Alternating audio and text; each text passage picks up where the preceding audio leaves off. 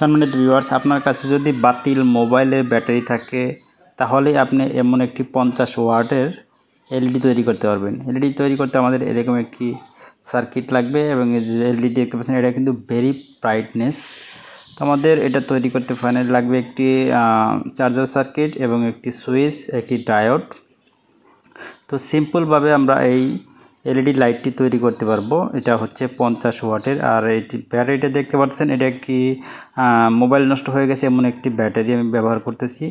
তবে এই লাইটটি আমি মোটামুটি মনে করেন যে চার ঘণ্টা চালিয়ে দেখেছি।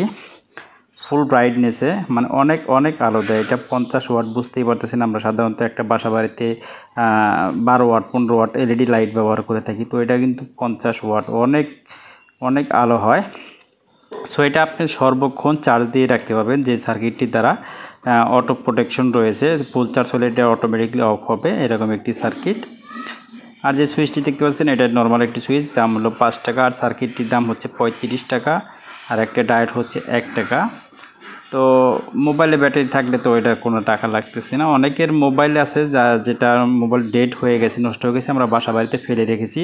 তো এরকম একটি মোবাইলের ব্যাটারি হলে আমরা এরকম একটি লাইট তৈরি করতে পারি, যেটা আমাদের বর্তমান যে বিদ্যুতের যে সংকট, তো সেই বিদ্যুৎ মানে আসলে ব্যবহার করাই অনেক টাফ হয়ে গেছে। তো আমাদের কিন্তু একটি চার্জার লাইট প্রয়োজন হয়। তো আমরা মার্কেটের থেকে অনেক চার্জার লাইট কিনে থাকি।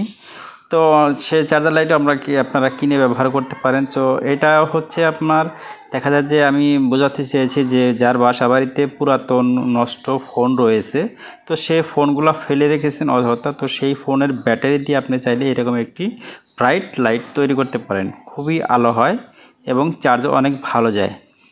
এটা স্যামসাং এম জিরো মডেলের একটি ব্যাটারি তা আমি মূলত এই লাইট এবং সার্কিট এই সুইচ এগুলো আমি কিনেছি আর ব্যাটারি তো আমার ছিল।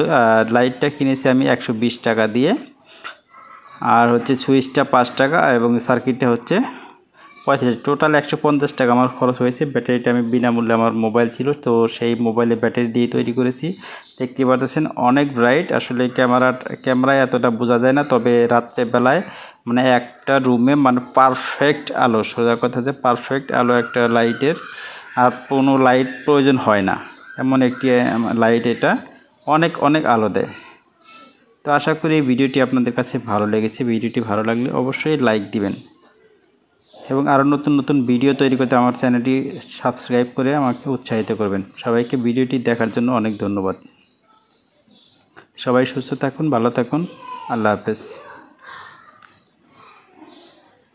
ওয়াও। অস্থির আলো।